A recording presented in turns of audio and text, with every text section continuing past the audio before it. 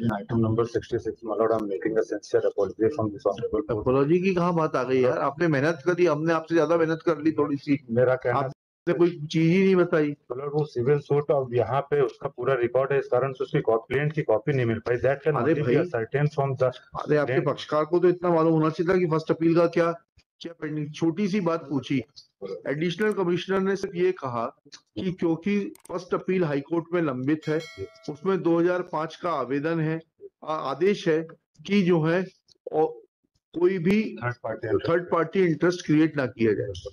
उन्होंने ये कहा क्योंकि वो फ़र्स्ट अपील पेंडिंग है इसलिए जो है हम इस सेकंड अपील को यहाँ पर सुन के कुछ आदेश पारित नहीं कर सकते जो भी कुछ होगा वो सब हाई कोर्ट की फ़र्स्ट अपील के निर्णय के अध्याधीन होगा।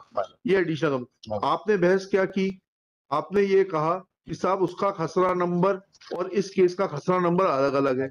हमने आपसे छोटा सा सवाल पूछा कि भाई खसरा नंबर उस केस में क्या है? आपने इस केस के तो बता दिए पढ़ के। आपने बताया नहीं हमको। हमने आपकी अपील खारिज कर दी। थ्री डेज़ टाइम में नहीं, नहीं। फ़ाइल द रेलिवेंट डॉक्यूमेंट्स कर देना भाई इनका ज़िंदा कर देना केस उसको हटा देना जिसको। highly obliged my उसको number कर देना। He is not prepared with the case करके। Please for time to file copies of the.